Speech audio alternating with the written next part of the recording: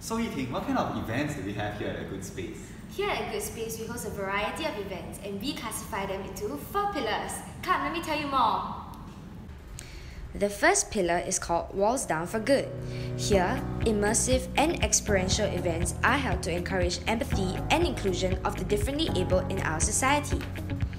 Here, we have a human library event where humans become books and people engage in meaningful conversations about their life experiences.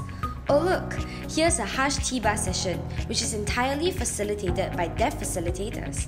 Step into their shoes and learn to find peace in silence. The second pillar is the Be Inspired series, where there are two tracks. The first track is the Speaker series, where we invite global and local experts to come down and give talks that seek to expand the perspectives people have towards a social issue. This is Mr. Tong Yee from the Thought Collective. He came down to give a talk about creating trust in a complex environment.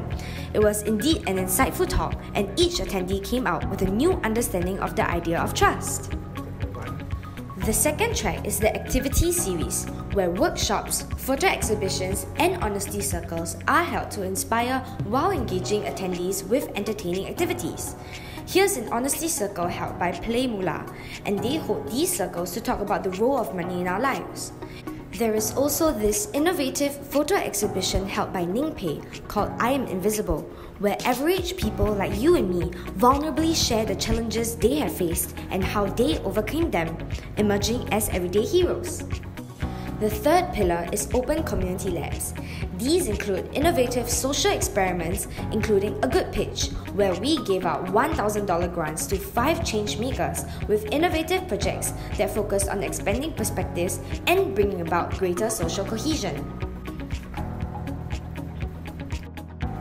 The last pillar is Treats for Good where fun and chill activities are designed to help recharge, refill, and re inspire attendees. Life can be busy in such a competitive society like Singapore's, and a good time spent on relaxation can work wonders for the mind and soul. Here's a glimpse of a laughter yoga session.